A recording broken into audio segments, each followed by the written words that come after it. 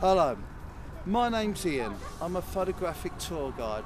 In essence, what that means is I'm a photographic tutor um, and also professional photographer. Here are a few handy hints that I think make a good photograph a great photograph. Really doesn't matter what sort of phone you've got, whether you've got a smartphone, um, a compact, a bridge camera, or indeed a DSLR.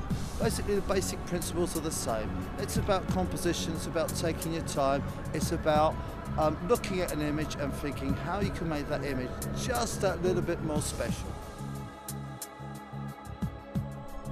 So one of the things I find that are, are interesting about the way people take shots is they'll actually find a subject matter, go and shoot it like this.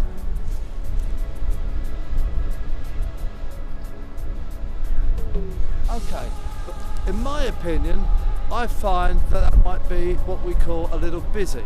So just by positioning yourself in a different mode, you might find that you'll be able to take your subject matter a little closer to the camera and make the image a lot more interesting to whoever's going to view it.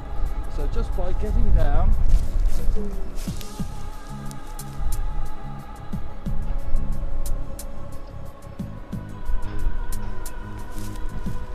you're able to really come in and make your subject matter work for you.